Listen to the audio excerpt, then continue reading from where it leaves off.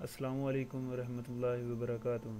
دوستو، آج میں جس ٹاپک پہ بات کرنے جا رہا ہوں، وہ جو لاہور میں آج کل خبر عام ہوئی ہوئی ہے، جس میں دو لڑکے پکڑے گئے ہیں ایک کا نام مظہر اور دوسرے کا نام پرنس ہے، جو کہ پانچ من ڈڈو لے جاتے ہوئے پکڑے گئے ہیں۔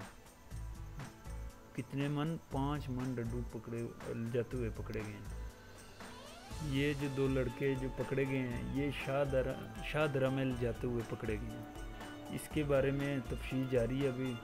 لاہور میں یہ کس کام کے لیے آئے ہیں؟ آپ کے خیال میں یہ کس کام کے لیے آئے ہوں؟ گے یہ جو ہے نہ تو یہ کہ ہم ڈڈوؤں کی نسل کشی کرنا چاہتے ہیں پاکستان میں، اس کے لیے لے جائے جا رہے ہیں سب کو اکٹھا کر کے۔ اور نہ ہی کہ ساری پاکستانی عوام ڈاکٹر بننے جا رہی ہے اور اس پہ ایکسپیریمنٹ کیا کرے گی۔ بلکہ یہ لاہور کے ہوٹلوں میں جس طرح مریے مرغی، گھوڑے، گدے، آپ نے کچھ دن پہلے سنا ہوگا کہ لاہور میں گدے کھلائے گئے ہیں۔ اسی طرح یہ اور بھی مرے ہوئے جانور کھلاتے ہیں۔ اسی طرح یہ ڈڈو انہوں نے پکڑے ہیں اور لاہور کے مختلف ہوٹل میں، ریسٹورنٹ میں جی ہم جا رہے ہیں آج اس ہوٹل میں۔ یہ اس جگہ لاہور میں، یہ اس پرپز کے لیے لے کے جا رہے تھے کہ ہم اس ہوٹلوں میں چلائیں گے، اس سے ہمارے ارننگ ہوگی، یہ اور اس کا کوئی مقصد نہیں تھا۔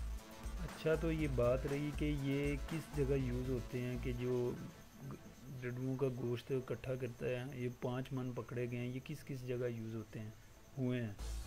یہ میرے پاس تھوڑی سی انفارمیشن آئی ہے۔ میں میں نے چاہا چلو آپ کے تک یہ انفارمیشن پہنچا دوں۔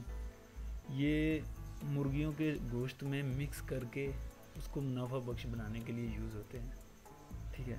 یہ چائنی جو رائس ہوتے ہیں، ان کے اندر بھی سنا ہے کہ یوز کرتے ہیں۔ اور سردیوں کے دن جب وہ سوپ ہوتے ہیں، اس کو گڑا کرنے کے لیے یوز کیا جاتا ہے۔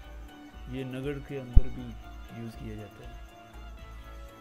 آپ سب سے گزارش ہے، اگر آپ نے میرا چینل سبسکرائب ابھی تک نہیں کیا تو جلدی کر لیں۔ انشاءاللہ ادھر سے بہت منافع بخش آپ کو انفارمیشن ملتی رہے گی۔ شکریہ۔